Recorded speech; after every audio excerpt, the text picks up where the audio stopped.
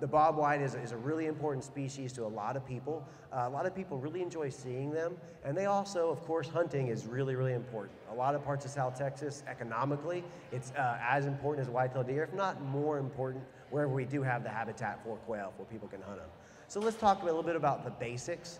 Uh, bobwhite quail, they're a, a, uh, uh, a ground bird. They, they, live on the ground. They live in uh, uh native grasslands primarily. They nest on the ground. Uh, a couple things, they generally don't need water. Uh, uh, free water out in the, in the landscape, and they, uh, they have a variable diet depending on the time of year. Quail are a highly reproductive species. They live by producing as many babies as they can, and that those populations grow really high during the nesting season, and then slow attrition over time. So they're kind of a boom and bust, as a lot of people talk about it. When the conditions are great, they do wonderful. When the conditions aren't so great, their populations decline and wait for the next boom cycle.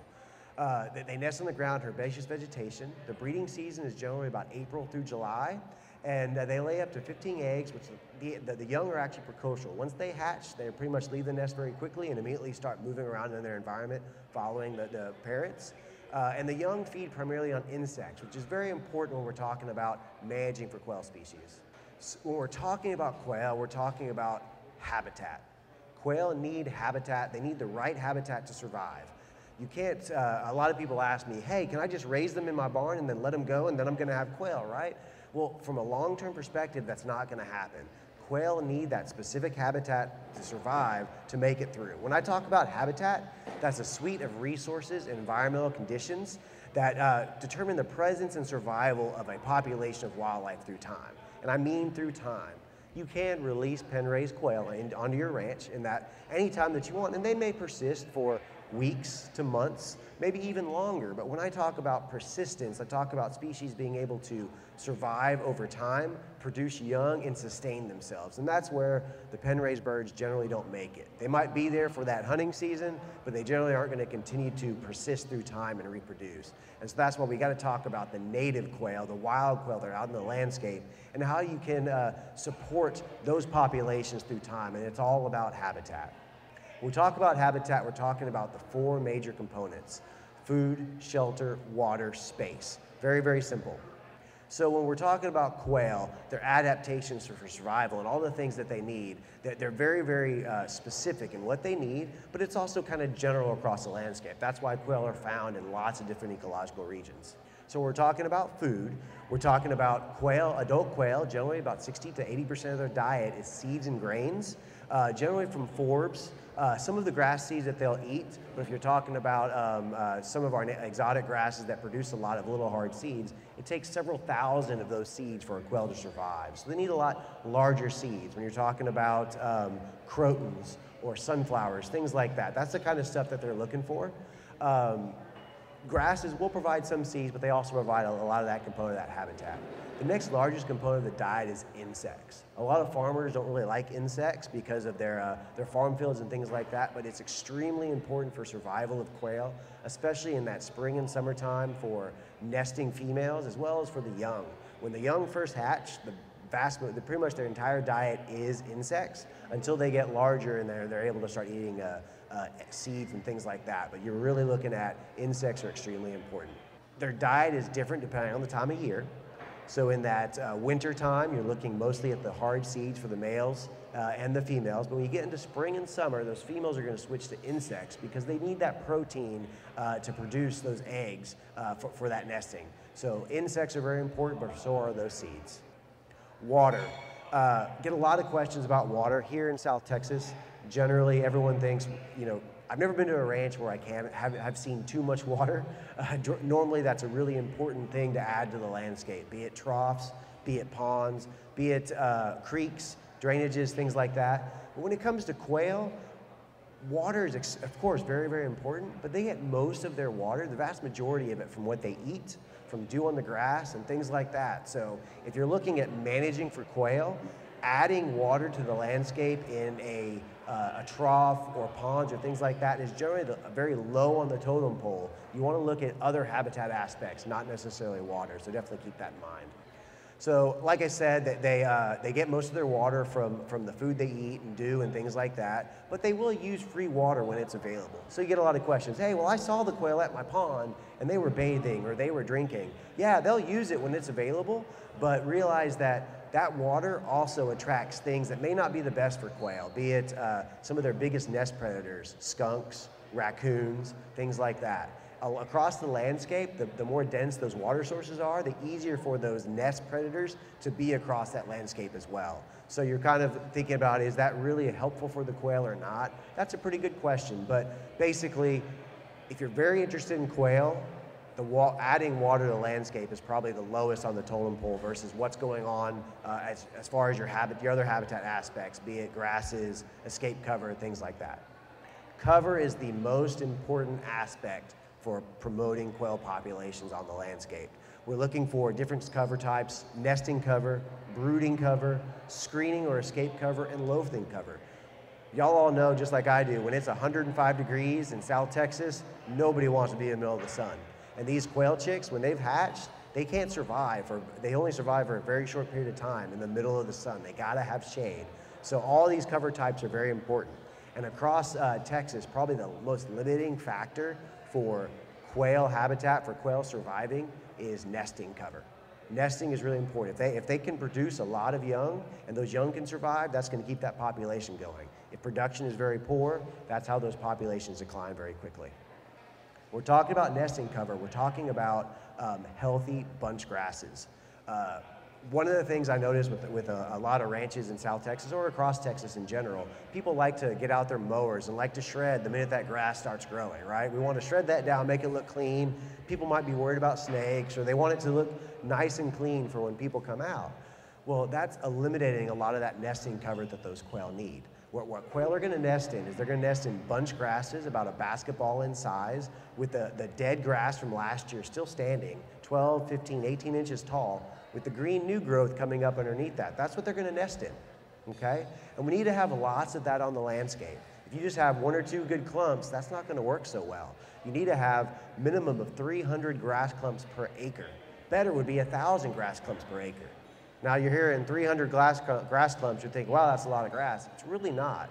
You're talking 300 grass clumps per acre, that's one good nesting clump per 12 or 15 feet. A thousand per, per uh, acre is about one per seven feet. So that's not a lot of grass, but it still has to be the right grass out there. They will nest in uh, mature uh, prickly pear clumps as well, but that's only if, uh, a lot of times that's only if those other structures, those grasses aren't available for them to nest in. Brood rearing cover. Told you those chicks eat insects. Insects are really, really important for them, and they get, those insects are, are gonna be produced in our forbs, our weeds, our uh, sunflowers, our crotons, all these weeds that come up in the spring, usually they're going to be kind of pretty tall. Uh, a lot of people think that looks dirty from the landscape perspective, but that's what those quail need. If you look at, if you ever lay down and you look underneath a, a croton patch, croton patch almost looks like, or even sunflower patch, looks like an old growth forest to a quail chicks that's, a, that's about two inches tall. So the, that, that brood rearing cover is, is really important for those chicks to survive.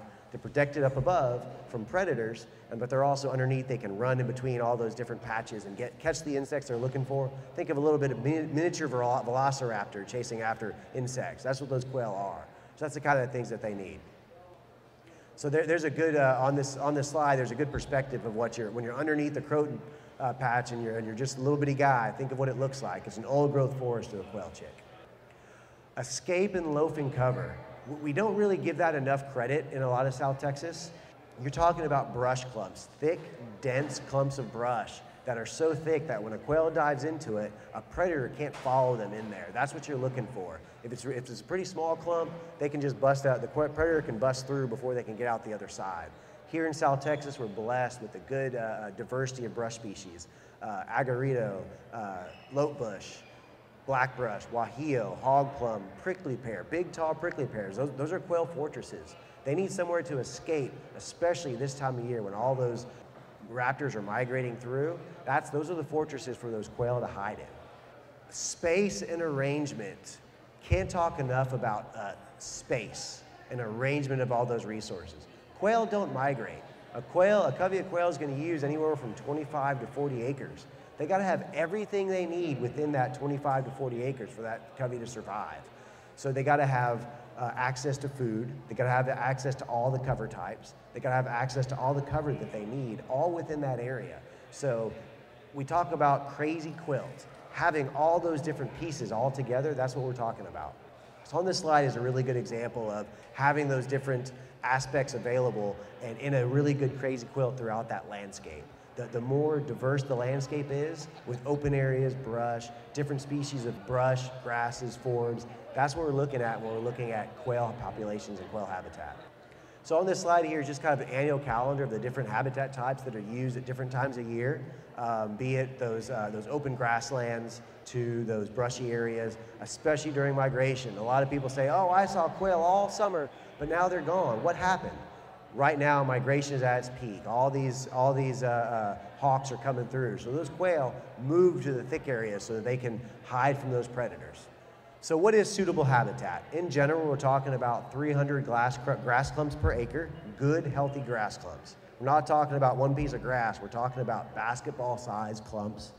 Uh, about 5 to 25% brush cover, and 50-foot diameter blocks or strips. We also need bare ground. Why do we need bare ground? When those seeds from those plants, from those forbs fall to the ground, the quail got to be able to get to them. If the grass thatch is too thick, they can't get to them, and so they're not able to feed. We also need a lot of forbs. 30 to 60% forb cover is really, really good from a quail perspective. So just talking about the different habitat types and the different things they need across Texas, not just South Texas, but Central Texas, North Texas rolling plains, all those different areas. We're looking for those, those important habitat types for them to survive. So let's talk about quail populations throughout the year. I told you they're a boomer or bust species. When quail populations, they are at their highest in the spring. When all those chicks hatch, that's when your population is at the highest. And then that population slowly declines throughout the year until late winter, you're at your lowest population of quail on the landscape. And of course, they start nesting and they start uh, coming up again. We generally lose uh, quail, a single quail is going to live about six months. That's on average how long they live. So they are born to die and everything eats them. So if you're worried about quail getting eaten on the landscape, it's going to happen. They're, they're just, all kinds of critters are going to eat them. So you got to have the right habitat on that landscape for them to survive if you want them to persist through time. So let's talk a little bit about weather and quail abundance. In good habitat, where the, everything that quail need uh, is there, about 90% of the uh, quail abundance can be predicted per year uh, by April to June rainfall. We get good rainfall during that time, which promotes really good nesting. You have good quail populations. You don't get good, quail, good rainfall that time, like the drought of 2011 when we had very, very few quail. That's a natural part of the cycle. If y'all didn't, if y'all noticed, everyone probably saw a huge boom in quail the last 15 and 16, 2015, 2016. That had a lot to do with uh, land use changes, land uses, habitat availability, and that timing of that rainfall. So it's a ephemeral resource, and it's a resource that uh, uh, you take advantage of in the good years and you protect in the bad years. So that comes down to where have all the quail gone? Right now, people probably aren't thinking about that. In the rolling plains and in South Texas and in the northern plains, quail are doing, have done really, really well the last few years. Talk, let's talk about 2011, 2012, 2013. There was a huge concern about quail population. Everyone thought they were gone. What's going on? Is it fire ants? Is it uh, exotic grasses? Is it turkey? Is it cracks in the soil? All the chicks fell in. What's going on?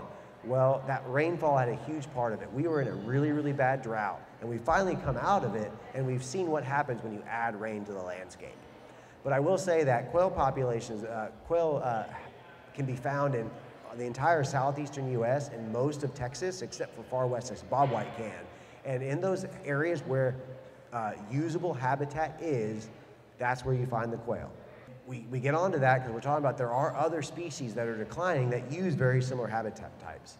Uh, loggerhead shrikes, uh, western meadowlarks, eastern meadowlarks, a lot of our grassland birds, they're all declining in a very similar way. And it's not because of fire, it's not because of these other things, it's because of loss of habitat. Things have changed on our landscape over the last 10, 20, 30, 50 years. To be honest, we've been talking about um, declining quail populations in parts of the country for over 100 years. So it's not a new thing. It's just as land uses change, those populations don't have the habitat that they need. Loss of habitat. I can't stress that enough. Where you don't have quail populations, especially in these good years, it's because you don't have the habitat for them to live in. Anyone here is from East Texas, you probably haven't seen a wild quail in a long, long time. Things have changed over there. The habitat has changed in the last 20, 30, 40, 50 years. You've got to get the habitat right before you can get those quail populations back. Some of the things that have happened conversions to improve grasses. Talk about the Bermuda Belt in Texas. Bermuda grass is a very difficult thing. Quail can't live in Bermuda, good Bermuda grass pastures. It's great for cattle, it's not great for quail. Overgrazing, brush encroachment, fragmentation, those are big things that are occurring. Changes to those monocultures of, of exotic grasses, uh, KR bluestem, buffalo grass, uh, guinea grass in some of our sandy areas, Bermuda grass, all of those things coming in, they form dense monocultures where there's little room for bare ground, few forbs, and that's difficult for those quail to survive in. They may nest in things like buffalo grass, but if it's only buffalo grass and nothing else, the quail aren't going to be able to survive in there because their food sources are not there. This is just a good description, good picture showing improved pasture versus native grasses. You see the, the bare ground for, uh, on, ones, on the native grasses and the non-bare ground on the others. Without that bare ground, there's no way for those quail to move through there, and there's no way for them to find food or get food. So that's the, the loss of quail in those areas. Overgrazing is a, uh, uh, has been an impact on a lot of areas where people, you know, cattle was king. Historically, cattle was king. As we're changing to more of a, uh, a wildlife focused landscape, people more, especially here in South Texas, people are thinking more about these cattle densities and how they can manage that landscape to still have that diversity there. Brush encroachment. You know, in parts of South Texas, back up until the 70s, we had pronghorn. We're not going to have pronghorn in South Texas at this point anymore. Brush encroachment has been a big factor. Now, brush is extremely important for quail, especially in the droughts. That's where the quail are going to move to.